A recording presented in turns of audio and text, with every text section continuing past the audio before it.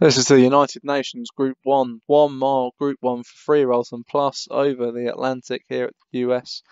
It's Big Gamble for Leon Van Rensburg, Mystic Lake for Leon Van Rensburg, Shaken Not Stirred for C. Beckwith, Zulu Dawn for Joshua Sutherland, for Harlan Davis for James Shea, Lockdown for Django, Cabin Fever for Hems, Screen Print Dante for Steve Rand, Storming Pete for Alex Cherry, The Collector for Mark Jones, Kescianto Ganella for Dan Hughes, Mabs Cross for D Thompson, Never Look Back for Hems, and Portugal for Paul Rhodes.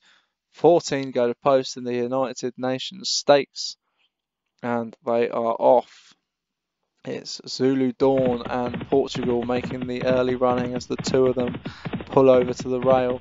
And it's Zulu Dawn who's going to look to kick off nice and early. Screen print Dante on the near side for Steve Rand, also travelling nicely.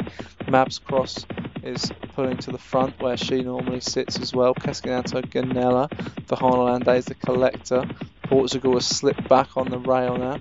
Uh, it's quite a tight track this, so it's going to be interesting if those out wide can make a make a dent on the result as Zulu Dawn now pushes down the back straight.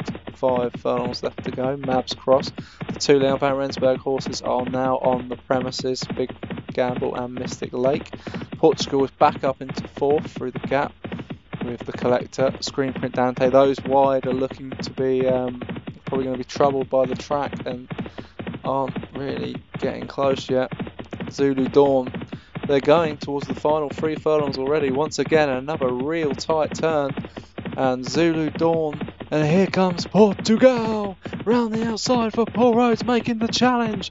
The classy three-year-old is pulling alongside Zulu Dawn, but it's still Zulu Dawn in front from Portugal. Big gamble, Mabs Cross. The tight track has seen a lot of them off, but it's Zulu Dawn from Portugal into the final furlong.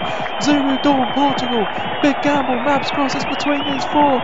Portugal, the three-year-old, swoops on them in the final stride. This race is over. It's Portugal for Paul Rhodes.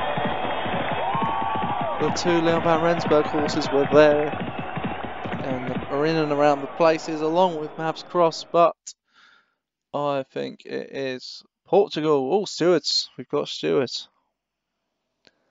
Now then, I don't think Portugal was involved. No, it wasn't.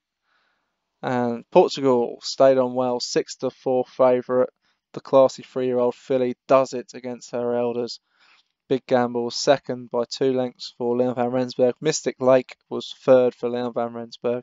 Zulu Dawn was fourth for Joshua Sutherland. And for Hana Landais stayed on well for James Shea in fifth.